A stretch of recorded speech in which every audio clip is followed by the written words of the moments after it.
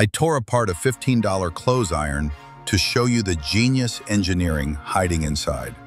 Most people think irons are just simple hot plates, but the truth is way more interesting. Inside this cheap appliance is a bimetallic thermostat that's been unchanged for decades because it works so perfectly. When you plug in an iron, electricity flows through a heating element that's literally just a coiled wire wrapped around a metal plate. But here's the crazy part. That wire gets so hot it would melt the plastic handle in seconds, if not for the thermostat.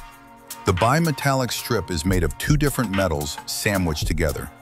When it heats up, one metal expands faster than the other, causing the strip to bend and break the electrical connection.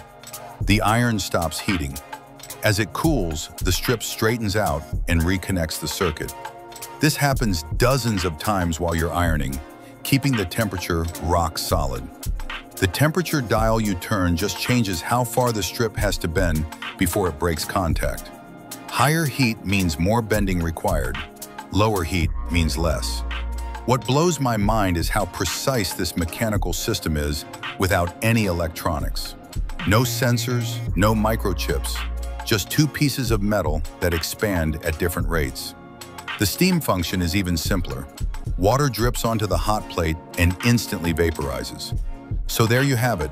The clothes iron is basically a controlled lightning bolt heating a metal plate, managed by a tiny temperature switch that's been around for decades and still works flawlessly.